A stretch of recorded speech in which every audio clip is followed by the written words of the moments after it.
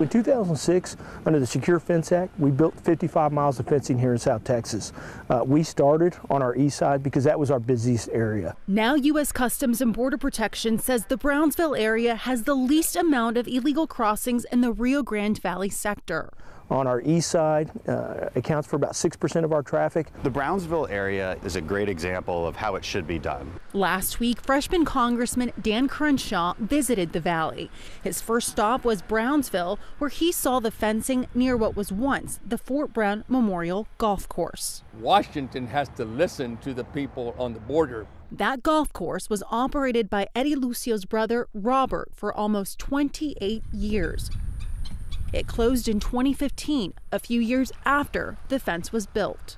He was just broken in two uh, because they placed a wall to the north of the golf course. Putting the golf course between the fence and the Rio Grande. Lucio is a Texas state senator, a Democrat from Brownsville, where he and his siblings were born and raised. Robert talked to Fox 26 on the phone. He says he stopped speaking on camera because it's painful to recall how his business fell apart people little by little stopped going, stopped becoming members. Two years before Congress passed the Secure Fence Act, Robert says he invested more than $800,000 in the course. He says he would see migrants crossing through his course, but they were never a threat to the golfers. He says some of the crossers would go to work in Texas and return to Mexico by the end of the day. Robert believes it was the impression the fence gave that led to the downfall of his business and eventually led him to file for bankruptcy. Did you feel unsafe before the fence? Not at all. Not at all. Do you feel safer with the fence? Not. I feel the same.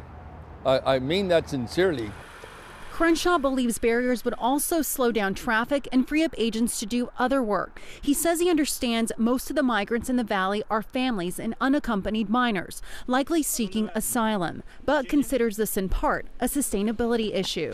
In the end, we have a finite amount of resources. We would love to take the entire world and, and, and, and make them American. We would love that but it's impossible.